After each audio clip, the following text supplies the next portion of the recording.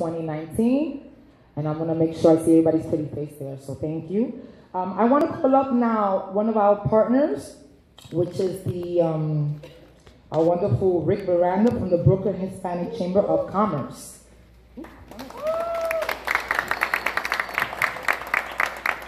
Bienvenido a todos a la herencia de hispanidad. How big is that? Big time. Welcome to Hispanic Heritage Celebration, and I thank you for being here. A lot of members, I see partners. Thank you uh, to our sponsors, honorees. Congratulations. Uh, also, a good friend, our district attorney is here, so thank you, this DA.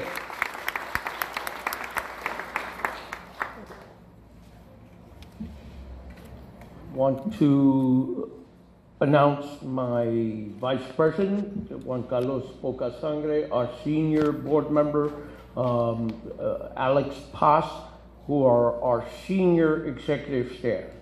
Uh, Mr. Borough President, it's once again a pleasure for me to do this, you know it. And to do it in the people's house is even bigger. 21 Latino countries salute you today. I'm happy to represent them, but we salute you. As usual, it's always my pleasure to introduce the Entrepreneur of the Year in Brooklyn. what a big thing! What a big thing. Let me get to it. Let me get to it in. in Oh, wait, wait, So- wait, wait, wait. I said three sentences, it's two pages, two no, pages. no, no, no, no, no. It's the highlight. It's the highlighted, Denise. The, the abridged version, Denise. you gotta love her. Give her a, a, a round of applause. Trying to keep us on schedule, but nobody keeps me on schedule.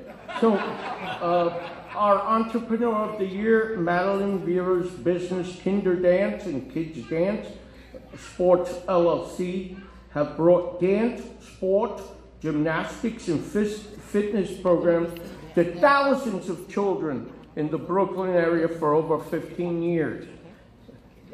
With a proven track record for bringing high quality dance and sports instructional programs to children, Madeline credits dance and martial arts with playing a significant role in her life.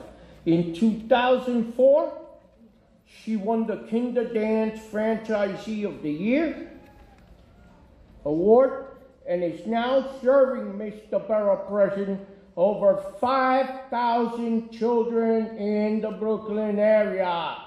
It is my biggest pleasure, oh my God, my biggest pleasure to introduce you to the Brooklyn Hispanic Chamber of Commerce and I and Brooklyn Borough President's Entrepreneur of the Year, Madeline Vera.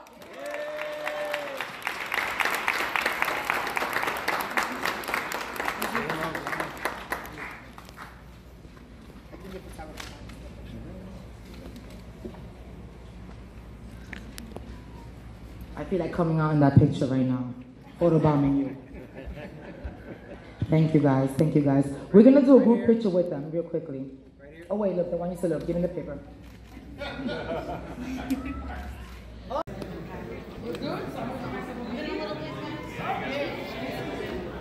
we doing, does everybody got yours? We're gonna need to step back, guys. Step back. There you go. You guys got wide lens. Okay, guys, excuse me, our hospitality, right here. Okay, I'm gonna jump in now. Yeah, yeah. District leader, get in there, bro. Come on, district leader. Come on, district leader. You know. there you go.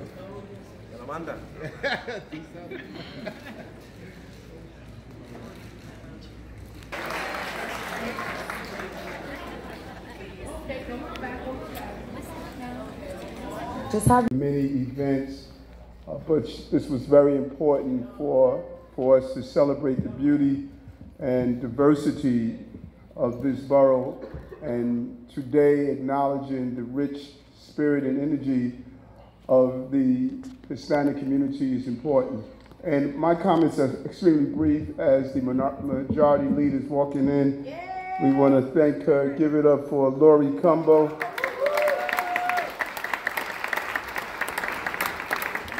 And so, uh, you know, let me let me just give you a brief uh, thought uh, that has really uh, resonated in this borough as this borough uh, continues to evolve. And I say over and over again, many of us were waking up to gunshots and not alarm clocks, but we stayed. We were here before Starbucks, and we're going to be here long after Starbucks. But we often, when I was a child, uh, D.A. Gonzalez, I was the guy on the corner playing three card Monte. This is before I became a cop. and the goal was to dupe you. The goal was to use a sleight of hand to have you not focus on the real issue.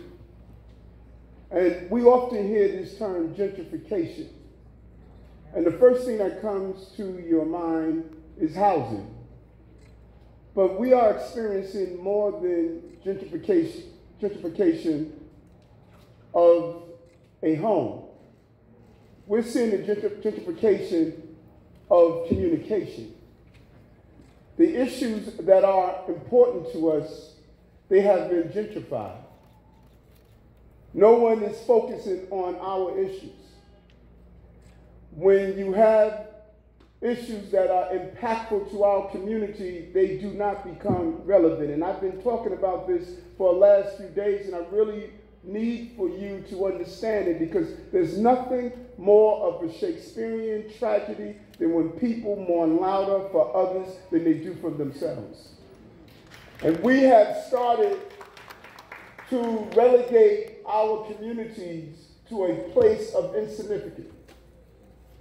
When we had a drug crisis and crack was rampant in our community, it was an incident. When drugs spilled over into the suburban counties, it became a crisis.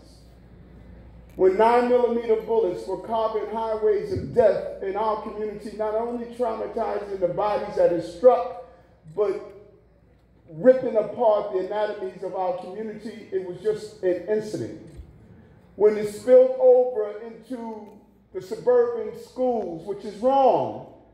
But the reality is, it became a crisis, and federal lawmakers engaged in the conversation of changing laws.